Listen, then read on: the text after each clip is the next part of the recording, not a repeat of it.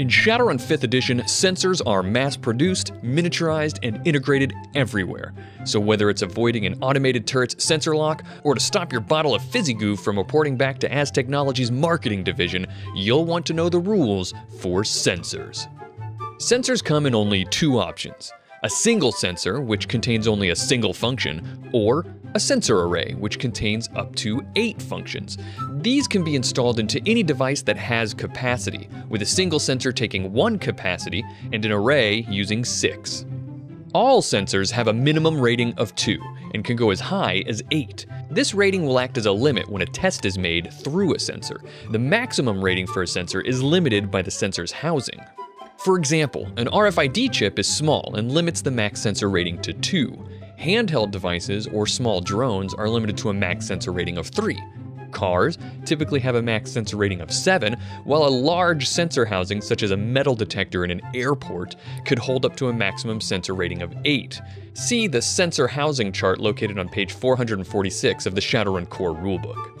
When buying a single sensor, you'll want to pick what function it has. With a sensor array, you can choose up to 8 functions. A list of functions can be found on page 446 of the core rulebook. Now that we have our sensors picked out, let's look at some examples of how they are used.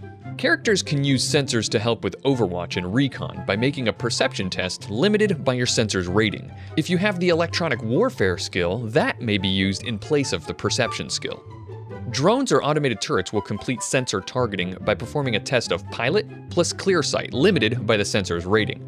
Vehicles making this test are looking for emissions, sound, and composition of other vehicles, so they may have modifiers based on their target. See the signature table on page 184 of the core rulebook. If the target is attempting to sneak, the test will be opposed by the target's stealth pool.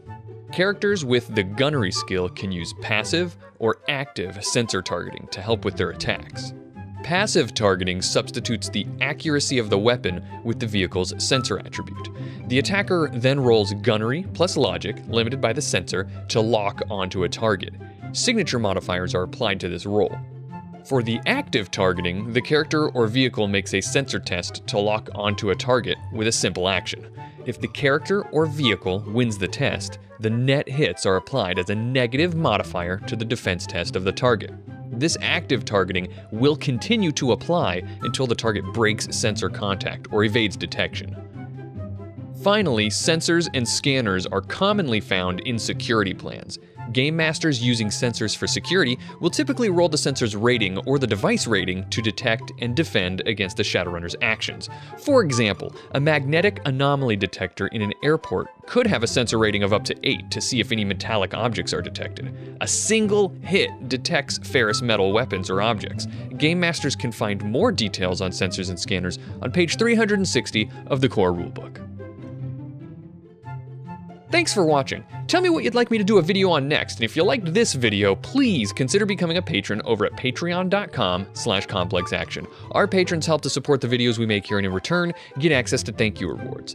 Everything here is made possible by the generous support of our patrons. And thanks again for watching.